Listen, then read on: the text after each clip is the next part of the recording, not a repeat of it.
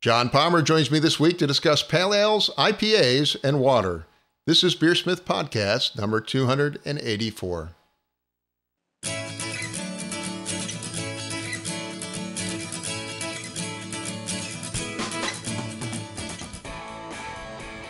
This is BeerSmith Podcast number 284, and it's early July 2023.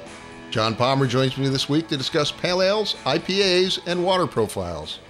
Thank you to this week's sponsors, Craft Beer and Brewing Magazine. Every issue of Craft Beer and Brewing Magazine is packed with articles for homebrewers and beer lovers. They offer access to videos, brewing courses, exclusive articles, and the amazing Craft Beer and Brewing Magazine. Go to beerandbrewing.com to get your subscription today. And also BeerSmith Web, the online version of BeerSmith brewing software.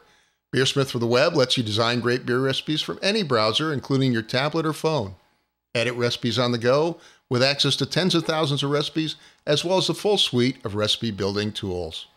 Try BeerSmith for the web today by creating a free account at beersmithrecipes.com. And finally, a reminder to click that like and subscribe button on YouTube, iTunes, Spotify, or whatever platform you're listening on. Clicking those buttons is a great way to support the show. And now let's jump into this week's episode. Today on the show, I welcome back John Palmer. John is the author of the top selling homebrew book, How to Brew, as well as definitive book on brewing water.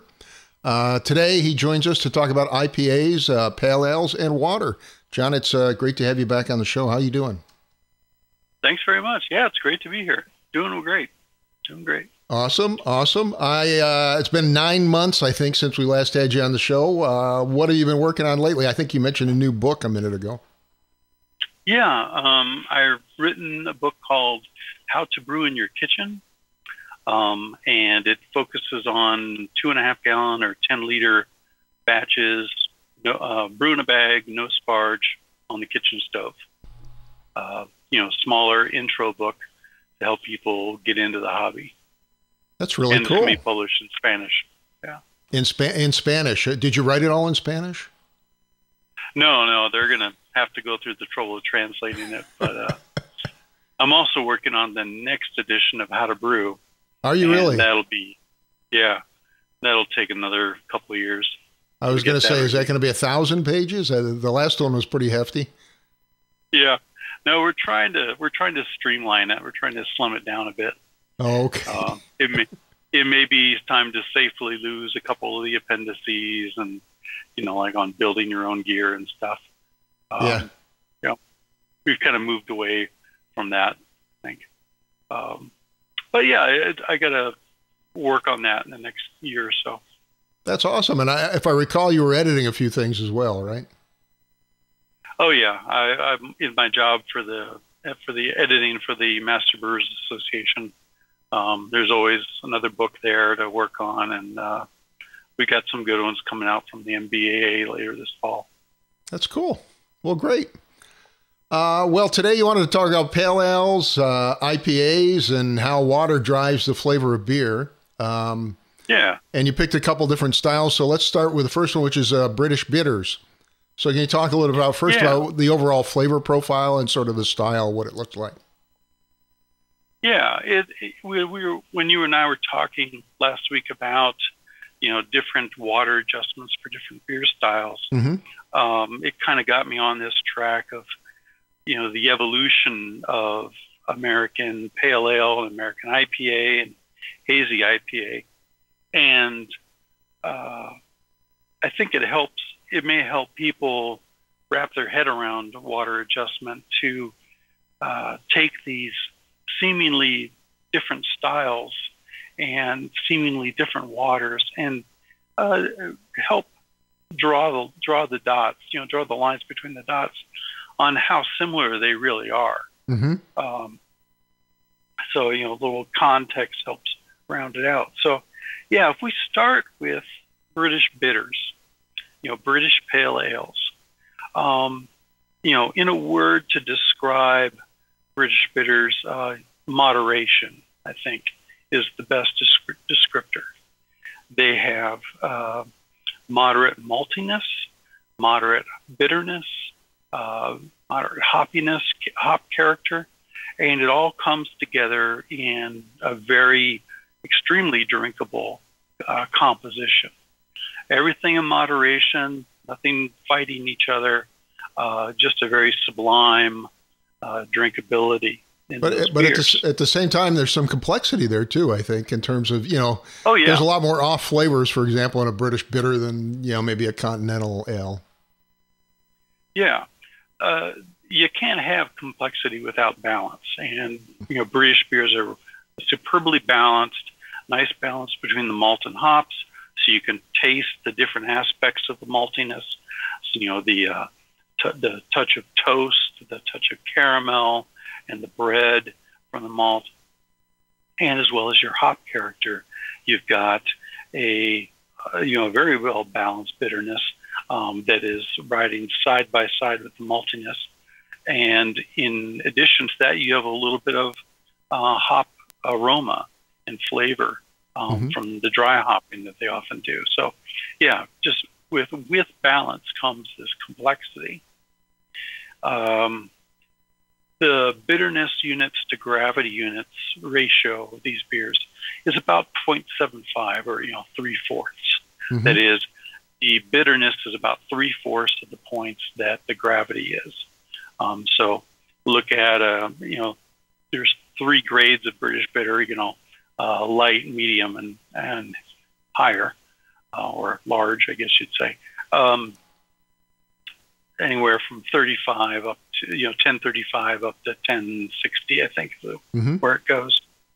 And uh, so your bitterness at any gravity would be about three quarters of that.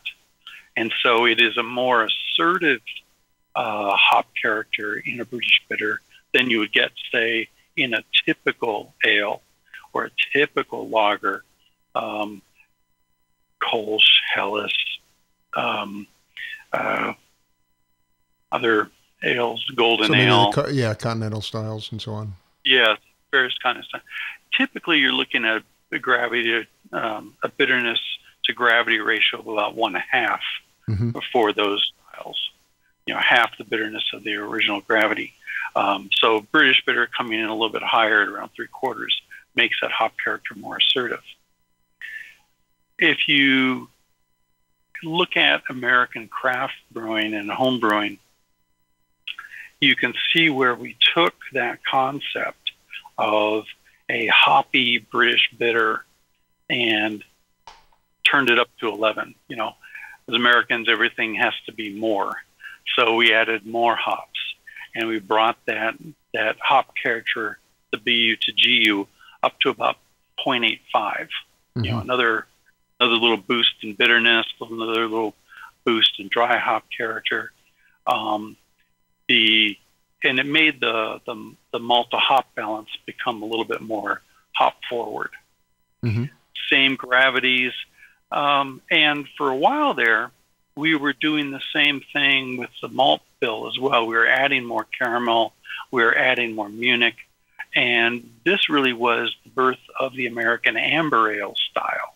Mm-hmm. You know, when you start when you start adding more caramel, adding more maltiness, and you know, changing it from uh, amber up to you know, say copper uh, color. Um, you know, increasing the sweetness. Now you need more hops to balance it, and thus that you know evolved into American amber. And then um, you know the other, other thing I find interesting is, of course, they changed the yeast, right? So a lot of yeah. the complexity you get from the British yeast, uh, maybe not so present in the American version. Exactly right. Yeah. Switched to American yeast, American hop character, and yeah, it became a uniquely American style, uh, readily differentiable, you know, in tasting. Um, um, well, stepping back for a second, though, uh, what does the water profile look like? Because that's one of the things you want to focus on uh, for the original right. bitters. Okay, so uh, we're looking towards London uh, for the British bitters, and I'm sure you know every region of, of England has their own uh, bitter style that goes back hundreds of years. Um, but uh, the water around London is um, high, uh, moderate hardness or medium hardness and high alkalinity. uh, meaning that the residual alkalinity was a positive value.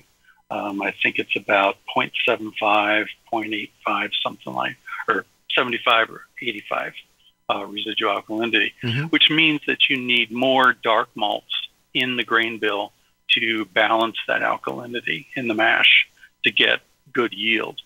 Um, keep in mind that when these beer styles are being developed, pH wouldn't be invented till 1920 or something like that. Mm. So, uh, yeah, they were figuring it out purely from an extract and yield uh, point of view. Um, and the the water, the London water, also had a balanced sulfate to chloride ratio, kind of one to one. Um, not terribly assertive. Both of the numbers around 50 ppm, 40 to 50 ppm. So just right under just that threshold. Mm-hmm. Um, the practice of Burtonization, um, it, this is kind of interesting. Burton, the beers of Burton were recognized as being special and unique. Um, uh, during this, even during the 1600s, probably by 1650, definitely by 1700, there were people writing about the unique beers of the Burton on Trent region. And the Burton on Trent region had uh, much higher hardness uh, water, than, higher in than London, calcium yeah. sulfate. Yeah, than, higher than London. Burton, Burton on Trent, for here those of us here in the states, uh, it's about 120 miles north of London. Mm-hmm. So it's you know it's not really close to London. Um, and uh, one, I think one misconception among American homebrewers was that Burton Ale was an IPA, or, and that's not really the case. A Burton Ale was a lar, a big, you know, 1060 kind of gravity, but a sweeter beer. Didn't have the depth of hop character that an IPA does. Now they had bitter stock ales, ales that they would uh, store for a period of time, and that they did add hops to. And those beers were the ones that became the IPAs of the day. And IPAs were being shipped to India and elsewhere in the, in the empire um, mid, uh, early to mid 1700s on. Um, so it was just kind of a gradual replacement of Burton Ale with the bitter stock ale, is you know which was the most popular beer in the region, mm-hmm. and uh, and then that they rec- even though they didn't have the concept of pH at the time, they had the chemistry that uh, let them understand that the water of Burton on Trent is what allowed this uh, clarity in the in their ales and their Burton ales, and that technology um, lent the same appearance to their stock ale. Um, it ha- led to a higher sulfate character, referred to as the Burton Snatch. Um, a little bit of the uh, sulfur coming out in the in the aroma of the beer, um, and so Burtonization as a science and an improvement to brewing water um, was known uh, and by roughly 1850 uh, mm-hmm. uh, that that concept and that science was also uh, made known in Europe.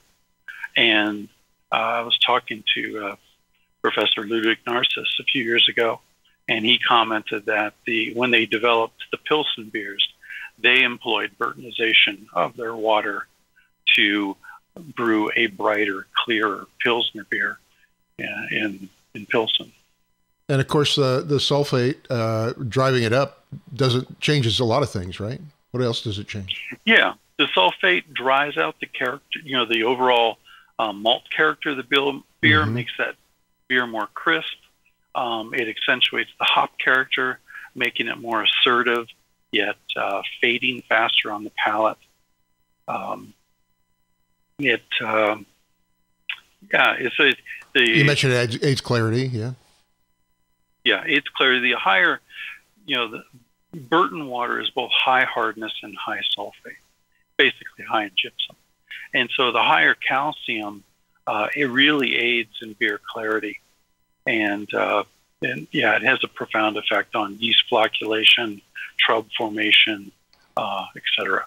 So you you just naturally get a much clearer beer in a high in a high hardness, high calcium water uh, than you do than say the London water, which had medium hardness and high alkalinity. Um, so, I mean, that obviously changed things quite a bit for uh, pale ales. Like uh, I'm thinking of the classic Bass Pale Ale, for example. Right. Um, right. Now let's go and maybe switch switch gears back to American Pale Ale, uh, which came, uh, you know, along with American Amber, uh, were developed uh, yep. sort of in the early craft beer days.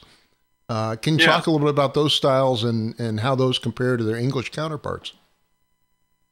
Sure. So, you know, as as homebrewers, and, and you and I were in the thick of things, you know, 30 years ago, yeah. Uh, discovering all this stuff for the first time. Um, we, you know, we were enamored of the tales of Burton on Trent and brewing these these hoppy, crisp, you know, Bass ales and Burton ales and IPAs, and so on. Uh, so I remember when I first wrote How to Brew, you know, in the late 90s. Um, oh, it's funny. I remember how much of an, an aside my IPA recipe was at that time. It was, you know, the in the first edition of How to Brew, it was Victory in Chaos British IPA, no American IPA, just a British IPA. There it is, and it was just like something to include. It wasn't the it wasn't the main styles that were being brewed back then. Um, being those being pale ale, uh, porter, and stout, and or, or, amber and stout stuff. Yeah. Um, but you know, we like I said, we are enamored with more, more hops, uh, more, more calcium sulfate. And so we saw all these suggestions to add calcium sulfate to all of our recipes uh, back then, which made that hop character more assertive. And um, like you said, with the addition of American yeast and American hop uh, hop varieties, led to you know American Pale Ale. Well, that same mindset, we took British uh, British IPA and brought it into the fold, added American yeast, American hop character, higher hardness, higher and the high sulfate that we thought was the you know the key to brewing these styles. Uh, and that led to the development of American IPA or West Coast IPA, as it's kind of referred to today. Mm-hmm. Um, less emphasis on the malt side, although many of the IPAs back then were quite, you know, amber colored. I mean, they were, you know, anywhere from uh, 8, 10, 12 SRM, uh, whereas now they're more firmly in the, say, the 5, you know, 3, 5, 7 kind of range for today. Mm-hmm. Uh, they've become paler. Um, but yeah, we took, you know, the higher strength of the English IPA, um, you know, going from roughly 1060, now kind of bumping that up to 1070 and uh, embraced that, kicked it up even to 1075, added you know more hops, more assertive character, and with American IPA, we are approaching the uh, a one-to-one bitterness unit to gravity unit ratio. Again, making that hop character even more hop forward, that the sorry the balance of the beer more hop forward than uh, American Pale Ale. Mm-hmm. Did you? Um, how did how did the water profiles evolve over this time? You mentioned that you know uh, in England, obviously we had the London water, uh, which had mm-hmm. a certain profile. Profile, and then we had the Burton on Trent water, which had a certain profile. Um, and yeah. I know in the early days we didn't necessarily play a lot with water profiles, except a lot of us were adding gypsum, I think, uh, at that point. Yeah. But how did the water uh, profiles for the the styles change as we Americanized them? Well, and that's that's kind of hard to define because you're right. For a long time, we really didn't understand. I, I, for for example, did not understand how water profiles worked. Um, I felt that you know, yeah, we needed to increase the hardness and we needed to adjust the alkalinity somehow, but um, all of that was kind of uh, at least a little bit intangible. And uh, AJ DeLange and others, uh, Martin, for example, helped us uh, codify that and uh, and help me understand it. And that's how I wrote the water book. But um, what we basically did was I said, okay, we're trying to emulate this Burton on Trent water to make great IPAs to get the, this crisp hop character. Um, then we started understanding, okay, that that 800 ppm sulfate was a, not a real value. I mean, yes, it was the real value of the groundwater if you dig down in Burton on Trent and analyze that, but you have to have to realize, and this is what comes out when you read read Mitch Steele's IPA book, mm-hmm. uh, one of Ron Pattinson's works, or Mark, Martyn Cornell's works. Uh, you realize that they were brewing from wells that were drilled halfway between the brewery and the river. And the river, of course, had much lower uh, hardness, much lower alkalinity, calcium sulfate. So they were really brewing with a blend of the river, the soft river water, and this hard groundwater. So let's just say that we'll cut those uh, sulfate numbers in half, you know, say 400 max. Which um, is still very, very high. Yeah. Yeah, still, it's still quite high. And it definitely contributed to the, the character and mystique that these beers had. Um, and so, in trying to emulate that, um, we were also doing higher and higher calcium sulfate additions. As we came to understand um, how those how those calcium sulfate additions uh, affected pH mash, and understood where we wanted to be in the mash for good conversion, um, we started, you know, kind of moderating all of these uh, guidelines and kind of bringing them down to more realistic numbers. So, yeah, we were brewing very high hardness, high cal- high sulfate IPAs for quite a while, um, and then we've kind of di- since dialed it back to much more palatable numbers. Uh, also, numbers that don't leave quite as much uh, calcium carbonate scale in the uh, hot liquor tanks and mash tuns. Yeah. I remember, yeah, using a lot of gypsum, is particular, particularly back in the day. Um, yeah.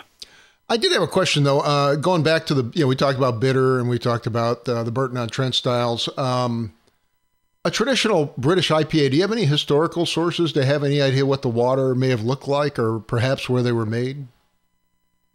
Well, um, they were being brewed in several areas. Uh, I mean, the Burton region um, and uh, forgive me, I'm not the beer historian that other people are. That's okay. Um, they're the I forget the name of the I think one of the popular breweries there, Hull or Anyway, yeah, they they were brewing with the Burton water, the higher calcium, higher sulfate water, and then um, they were also being brewed elsewhere with you know much softer water, I assume. Yeah. With, with, with softer water, but still highly hopped, still uh, basically a stock ale, an ale that would be, you know, fermented, dry hopped in the barrel, and then those barrels left to sit for a year before they would be consumed. And so uh, the original IPA probably was uh, had a certain amount of Brett character to it. Mm-hmm.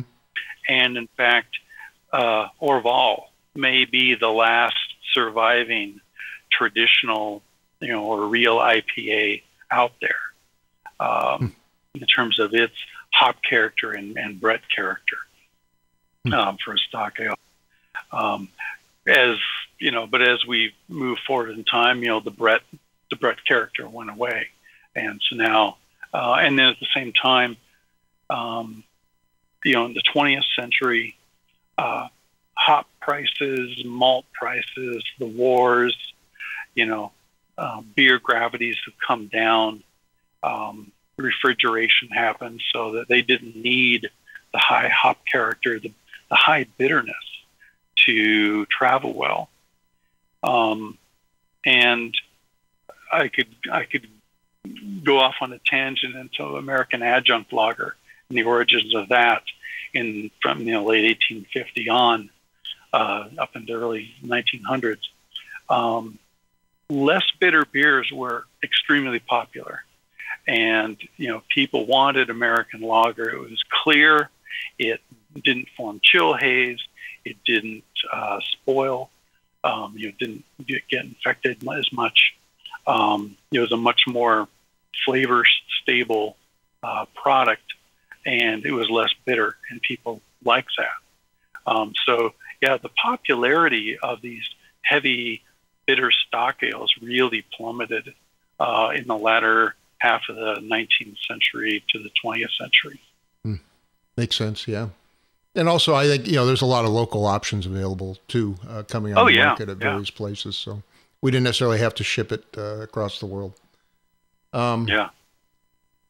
So walking through the different styles, so let's talk a little bit about uh, some of the modern styles. Uh, so like an amber or a original pale ale, and I'm using a say maybe you know sort of like a traditional American pale ale, maybe something like a Sierra Nevada. I assume they didn't do a lot of water adjustment at that point, right? Because we didn't have a lot of this knowledge at that point when a lot of these beers were made. Right. Yeah, they were adding uh, calcium salts, um, mm-hmm. and uh, the the water up in Chico, for example, is a moderate hardness, uh, kind of balanced profile, if I remember correctly. Mm-hmm. Um, you know, in the 50 to 75 ppm uh, range for calcium or for uh, sulfate and chloride, but it you know is a more balanced uh, profile. Um, the addition of calcium sulfate would help bring out that hop character a bit more. Um, but it really was a fairly medium level water, moderate level water, not super high hardness, not super high sulfate. Um, and, and it provided um, a good uh, balance between the malt and hop characters. Um, as and the same went for amber ale, um, pretty much brewed at the same water. Um, and in many breweries across the United States, um, especially uh, some of the eastern breweries, um, they're being brewed with surface water, so it was they were soft water sources. Right. So right. yeah, uh, kind of low mineral and made the beers overall a bit softer, um, as opposed to the the the, the, American IPA. Um, and then as we, we move it, that, go ahead. I'm sorry. Oh no, no. I was just saying. I was just going to finish with saying that we had that ideal of Burton you know, for uh, the IP style. Makes sense, yeah. Um, and then as we move forward into, uh, we see the American IPA style start to come on the market, I guess, in the, oh, I don't know, mid aughts or something like that, right? Yeah. Um, yeah. Uh, did we have, I assume we still didn't have a lot of water knowledge then, but we were probably still kind of following along with kind of the Burtonization approach or what? Yeah, yeah. It was, that was very much the, the era of the classic brewing cities, you know, profiles. Yeah. And so, yeah, people were doing water adjustments based on matching these classic brewing cities. Again, not really tying it and there's, you know, tying those additions to their source water and mash pH. Um, pH was, you know, known and we would talk about, you know, 5.4, 5.2 pH um, that we would see in brewing in like German brewing textbooks and some of the other uh, you know multi and brewing science textbooks out there. Um, so yeah, I mean it was it was coming together. It was coming together. Mm-hmm. And then uh, of course you put you published the water book, and about that time I I started to hear people get a little bit more serious about their water and. And of course, I'm sure it affected uh, the commercial IPA brewing as well. Yeah, um, it's funny. I mean, even still today, I'm when I do my occasional consulting job on water adjustment, uh, especially for contract breweries, they will be given a recipe and told, here is what you do. Here are all the salts that you put in and all the malts that you use and hops and so on. And they brew it with no regard to what their source water already has in it versus the original source water. Which is a big problem. There's still, yeah, there's still that disconnect, but you know, it's getting better. Um, and uh, yeah, we we were drilling down to you know exactly how much uh, adjustment was needed. Um, I remember, oh yeah, back in the early or late '90s, early 2000s, um, the the uh, there was talk of kettle pH being more important than mash pH for a good beer. Mm. You know, wrong, but you know, a little bit wrong, not totally wrong, but a little bit wrong. Um, but you know, it it comes from the idea that if you have the mash pH right to get the optimum conversion and yield from your malt, then that chemistry, that you know, that well coordinated chemistry is going to continue on through the brewing process. And so, yeah, if you have the right mash pH, it's going to mean you have the right wort pH going into the kettle, and that after the boil, that pH is going to be uh, very favorable for fermentation as well. So it's, uh, it wasn't completely wrong, but it was just slightly wrong emphasis and not understanding the way it flowed down. Um, I feel like I'm getting off track again. no, no, you're good. You're good. Um, well, I okay. want to bring one more style into the mix, which of course is the hazy uh, New England IPA, which is uh, kind of a unique beast uh, from a water perspective. Yeah. Uh, can you tell us a little bit about yeah. the style, how it differs from the other IPAs, and then, of course, we want to dive into the water profile for that. Yeah, yeah, that's that's a great that's a great uh, topic too. So, American IPA it, you know, as you said, it had its it had its growth spurt in the early aughts. Um, by 2010, you know, they had been around. We had done red IPAs, brown IPAs, black IPAs, white IPAs. We had done every IPA we could think of. Well, and, and, not to not to downplay it, but they, they still make up over half the craft beer made in the United States. So I mean, it's still a substantial yeah. thing. Yeah, but, yeah. But yeah, go ahead. Still widely popular, but you know, there's like, where is this going next? Well, um, late hopping, more hops. You know, that was that. Um, more hops is always a passion for American home brewers and craft brewers, and of course, they found that by adding them later in the process, you preserve more oil, get more oil and more aroma into that beer. Mm-hmm. And um, in the Northeast, uh, this led to you know, somebody, it might have been Trillium, it might have been uh, Treehouse or one of the others, uh, you know, all late hop additions, no hops in the boil. And the beer turned out hazy. Uh, but, you know, they, it also had massive hop aroma and a massive hop flavor. And it had this kind of a juicy character to it. You know, we were, they were realizing more uh, hop character doing that method with a hazier IPA versus the crystal clear standard of the West Coast IPA, you know, Green Flash, Stone, Russian River, etc.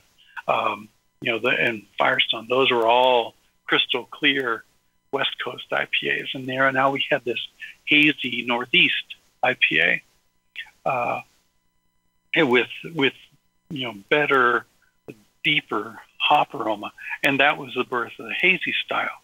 Now, in experimenting with that, they you know added uh, some more wheat, more oats to the style, helped uh, increase the head retention, made it fluffier tasting, um, and when you start looking into how to enhance that that juicy, fruity character, uh, you've got to you've got to look at pH. Mm-hmm. And so, um, one one downside to lots of dry hopping and whirlpool hopping without boiling is that your hops raise the pH of the wort and the pH of the beer. and I think oh nuts, I don't have the number in front of me. Um, it's like I think one pound per barrel uh, raises the pH like 0.4, almost one half, you know, unit. Substantial, so yeah. You, yeah. So as you add more and more hops, late, late, you know, whirlpool hopping, dry hopping, the beer pH starts rising considerably. Uh, it can become uh, the beer can become coarser tasting, more astringent, uh, more coating, you know, to your palate.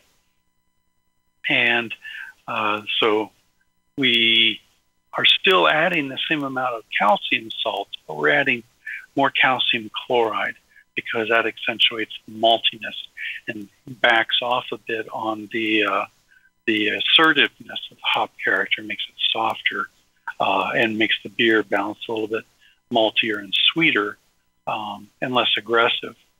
Uh, probably, but, uh, probably the extra sweetness uh, complements the the fruity flavors too from the hops. I would think. It really does, and that's an aspect of the juiciness character that people were looking for that made made the beer more approachable to the public, for, you know, uh, than previous IPAs had been. Um, but the other aspect to, to juiciness and fruitiness is acidity, because as you know, if you bite into an orange or an apple or other piece of fruit, those are fairly acidic uh, items. And so um, a lot of brewers these days do acid adjustments um, post fermentation to bring that pH back down. You know, during during dry hopping, beer pH can rise up to uh, 5.6. Wow. Um, and you know, back up to almost mash level from the the 4.4 4.6 it was. I guess 5.6 is kind of extreme, but uh, it can rise a lot. And so they would do acid additions to bring that back down to the 4.2, 4.4 range, which is more typical of a pale beer. Hmm. Interesting. So they're actually, I assume, adding some kind of acid uh, post or post post brewing, I guess, right? Yeah. Yeah. Typically phosphoric. You can also use lactic uh, or a combination thereof. Yeah. Mm-hmm. Um, so the water profile then is almost the opposite of what you have for an IPA in a lot of ways, right? Right. Well, it's it's the same. It's it's the same in terms of calcium and alkalinity. You want hardness. You don't want alkalinity. You want a negative residual alkalinity to help bring that mash pH down, you know, to your target 5.2 to 5.6 at room temperature. Um, but to do that, you know, you've you've got to uh, you're you're also brewing a paler beer, so yeah, you're often adding additional acid to that high hardness uh, to help that high hardness along.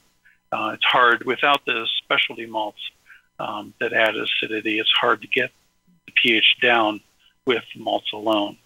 Hmm. Um, so they're doing usually adding some acid uh, to the hot liquor tank or to the mash tun to help get the initial pH down.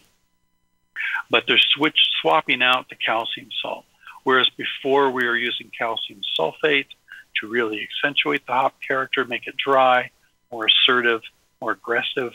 Now they're switching to calcium chloride.